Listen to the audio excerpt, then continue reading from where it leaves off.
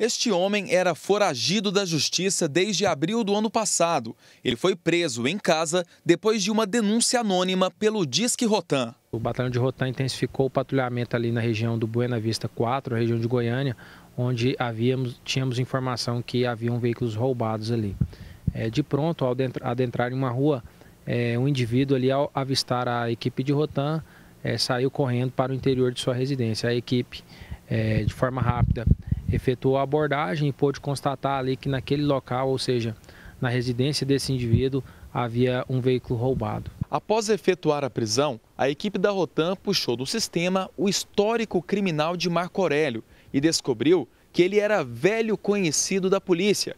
O homem tinha nada mais nada menos que 13 passagens por diversos crimes, entre eles um homicídio. Roubo, é, receptação, posse ilegal de arma de fogo, porte ilegal de arma de fogo, associação criminosa, ameaça, calúnia, difamação, resistência.